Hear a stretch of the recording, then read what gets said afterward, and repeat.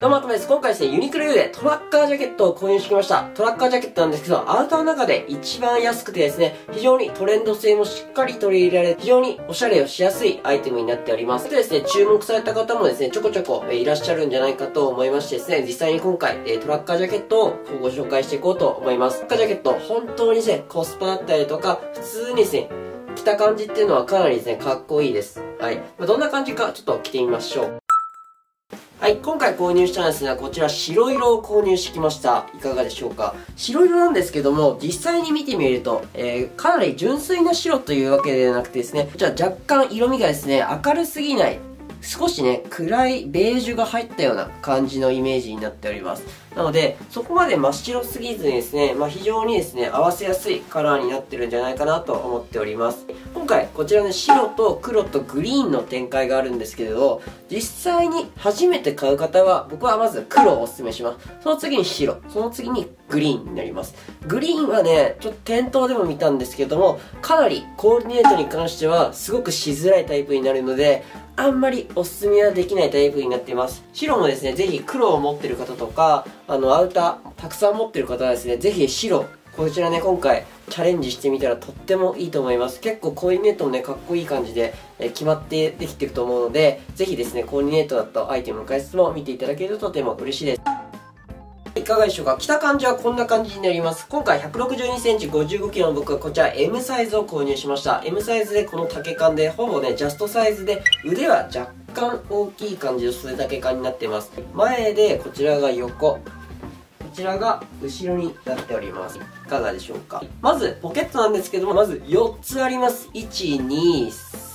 3、4で、こうやってね、横にまず斜めのカッティング入っていて、さらにここですね、ダブルポケット。ダブルポケットで今年のトレンドになります。これは何回もちょっと言わせていただいてるんですけども、こういった感じが入っていることってかなり、トレンドのあるね、ジャケットっていうのが着ることができます。やっぱですね、こういったトラッカージャケットってなかなかこうやって斜めにポケットがあることがかなりね、珍しいんですね。基本的に結構ね、ないタイプが多くてですね、まあ、こういった感じで入れられるとね、すごく、えー、便利な構造になってるなって思います。えー、素材感になるんですけども、こちらコットン100%で作られていて、その中にですね、サテン素材っていうのが入ってて、若干ですね、こうやってツヤ感っていうのが出てきます。なので、少しですね、こう遠くから見るとね、高級感だったりとか、近くから見てもね、すごく、あの、5990円とは思えないくらいですね、普通にコスコスト的には全然1万円以上のアイテムを着てるような、え感覚になると思います。で、ボタンのカラーなんですけども、ボタンのカラー、こちらをね、白と四国線マッチしていてね、こちらシルバー色になっております。他のね、グリーンとか黒も確かシルバー色あったと思うんですけど、そちらの色に関しては若干ですね、ボタンの色っていうのがちょっとね、目立つ部分があるので、ちょっとね、ボタンの色を気にする方は僕はね、白を買ってみるととてもいいと思います。で、襟元の部分もね、よーく見ていただくと、こういった感じで若干え2段階になっていてですね、まあよーく見るとね、こう、おしゃれになっているんだなっていうのがすごくね、伝わるアイテムかなと思っております。まあ全体的にこう、特に悪いところはなくですね、可もなく不可もなくみたいな感じでですね、まあ本当にですね、まあ、着たらかっこよくなるような感じのジャケットになるかなって正直思っております。そこまでね、すごい悪いってわけではないんだけども、なんか、こう、物足りない部分が正直あるかなという感じはあります。ただですね、着てみると本当にしっくりくるし、かなりね、かっこよく着れるので、まあ、僕的には普通にアウターの中で一番安いラインナップで買うんだったら、このトラッカージャケットを買うのはね、結構ありかなんじゃないかなって思っております。実際にですね、アイテムの感じの知りたいとか、ちょっとね、軽く解説させていただいたので、実際にコーディネートっていうのをね、見ていきましょう。コーディネートで結構ね、変わってくると思います。コーディネートまず1枚目はこちらになります。トラッカージャケットと自由のスタンドカラーシャツと黒スキニーを合わせました。スタンドカラーシャツがですね、比較的結構オーバーシルエットになってますので、こういった感じでスキニーパンツでスラッと合わせてあげることによって、上下のメリハリっていうのをうまくつけることができます。こんな感じで白とですね、全体的に中の黒っていうのを合わせてあげると、すごくですね、白があんまり浮きすぎずに、本当にこうちょうどいいマッチ感で合わせることができますので、こんな感じで合わせてみるとすごく僕的にはかなりおすすめになってます。次に参り目はですね、こちらになります。トラッカージャケットと、こちら、茶色のユニクロ U のクルーネックティーと、こちら、ユニクロ U のワイドヒットストレートパンツになります。いかがでしょうか？こんな感じで、茶色と、このね、ココア色みたいな感じのブラウンって、すごくね、相性良くないですか？これね、結構ね、ペールトーンで入れづらいっていう方でですね、すごく僕おすすめしたい色になってます。こういった感じで茶色にね、ちょっと白が入ってることで、若干ココア色のね、茶色みたいになってて、こういった白と茶色で、さらにね、合わせやすい黒のね、ワイドヒットストレートパンツを合わせることによって、こんな感じのね、シルエット感っていうのを簡単に作ることができます。むしろね、こういった感じでですね、白って結構簡単に取り入れるんだなっていうのをね、この2コーデで、ね、知ってもらえたいんじゃないでしょうか。実際にですね、いつもはですね、こういった、えー、3コーデぐらいやってるんですけども、え今回ね、ちょっと失敗してしまったコーデがあるんですね。こちらね、失敗したコーディネートっていうのをちょっと紹介していこうかなと思っております。